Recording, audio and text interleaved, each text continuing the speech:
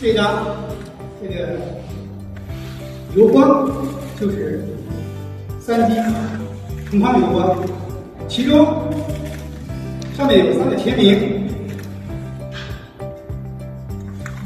一个是六二零首飞试飞员贝鲁明，一位是歼十六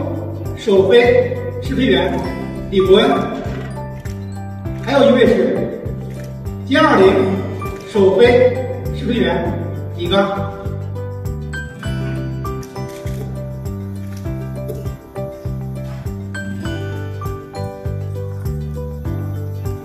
第三张，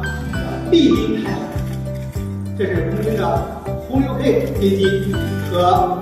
一座山脉的同框照。